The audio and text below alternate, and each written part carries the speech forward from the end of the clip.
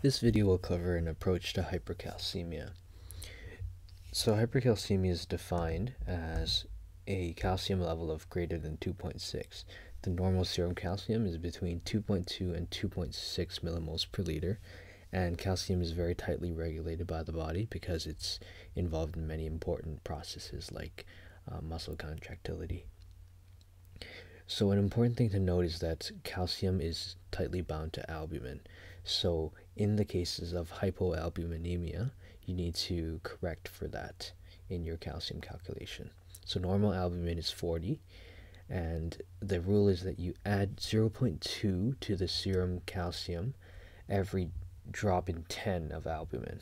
So an example is if your albumin is 20, you should add 0.4 to the serum calcium. Another alternative is that you can order an ionized calcium which has a value of between 1.1 to 1.3 and that essentially compensates for an abnormal albumin level.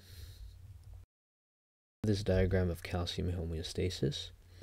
So you can see here the four shaded structures are the parathyroid glands and they sense a low serum calcium and as a result they increase PTH secretion. PTH will work directly on the bone to release calcium and phosphorus, resulting in an increased serum calcium. And PTH also works on the kidney to increase calcitriol formation and decrease the excretion of calcium. You can see here the vitamin D pathway. So vitamin D is processed in the liver first into calcidiol and then goes to the kidney to form calcitriol.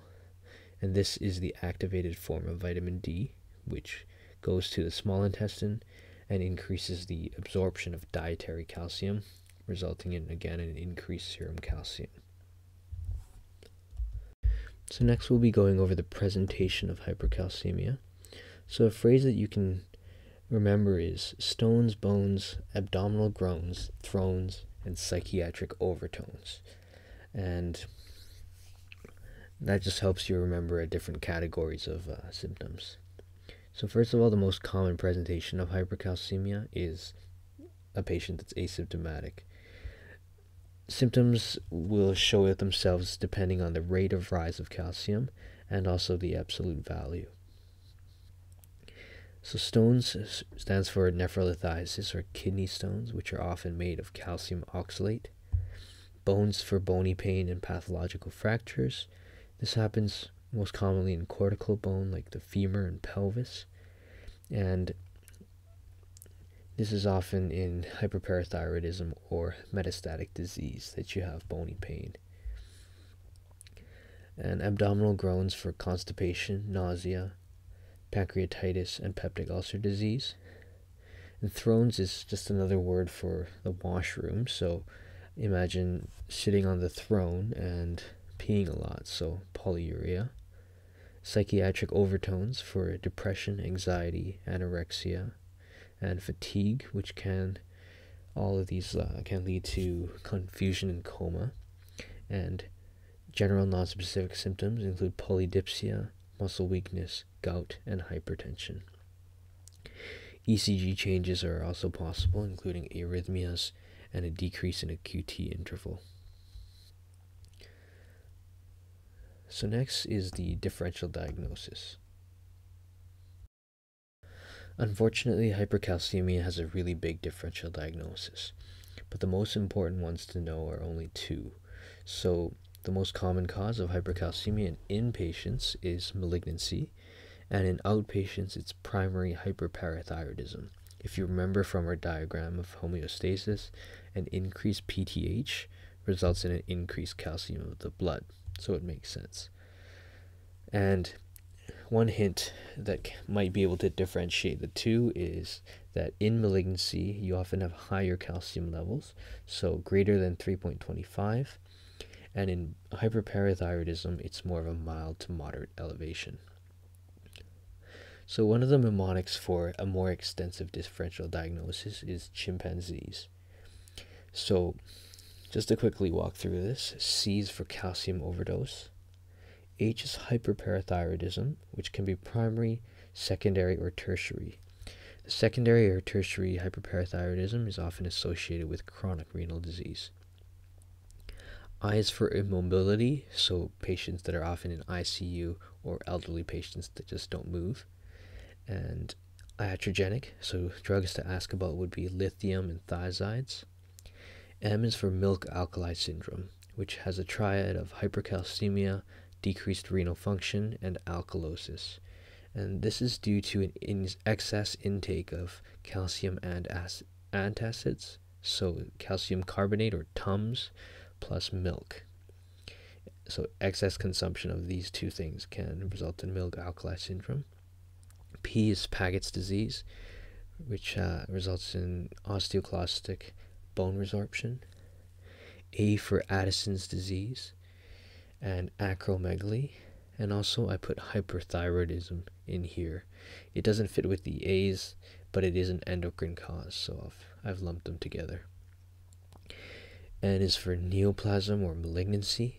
The most common ones resulting in hypercalcemia include breast, lung, uh, multiple myeloma, and lymphoma. Z is for Zollinger Ellison syndrome, and this one is an increased secretion of gastrin, and patients often have ulcers in atypical locations. E is for excess vitamin D or A, and S is for sarcoidosis. Next, we'll be going over an approach to the diagnosis of hypercalcemia. So once you have an increased calcium level, your first step is to confirm that it's actually elevated. You can repeat the calcium or you can do an ionized calcium. And then you measure the PTH level. The normal is between 1.2 and 5.7. And if it's increased, then you have a PTH dependent process. There's two choices, the first being primary hyperparathyroidism, and the second is FHH, which stands for familial hypocalciuric hypercalcemia. And in FHH, you can think about it as the body having an increase in the calcium set point. So calcium is um, elevated, but there are often no harmful effects such as the renal stones and also the GI effects and all those symptoms we talked about in the presentation section. So once you know we have an elevated PTH, you can do one of these two tests. So the first is a 24 hour urine calcium. And if it's decreased, meaning less than 200, that's FHH. And it's increased in hyperparathyroidism. So that's how you can differentiate between the two. And another option is to do a calcium to creatinine clearance ratio, which is again low or less than 0.01 in FHH. The other possibility is if your PTH is low, then you have a PTH independent disease. In this situation, your calcium is pathologically increased and your PTH is appropriately decreased. This happens in malignancy, vitamin D intoxication, and granulomatous diseases. So, our next step would be to measure the PTH RP. RP stands for related peptide and also do the vitamin D metabolites. So there's the 125 dihydroxy vitamin D, also known as calcitriol, and 25 hydroxy vitamin D, which also known as calcidiol. If your PTHRP is elevated, you can scan for malignancy, so often a breast, lung, or hematologic cancer. If your calcitriol is increased, you should do a chest x ray um, and look for lymphoma or also sarcoid. If your levels of vitamin D metabolites and PTHRP are normal, it's likely due to other causes, which includes multiple myeloma, thyrotoxicosis, and vitamin A toxicity.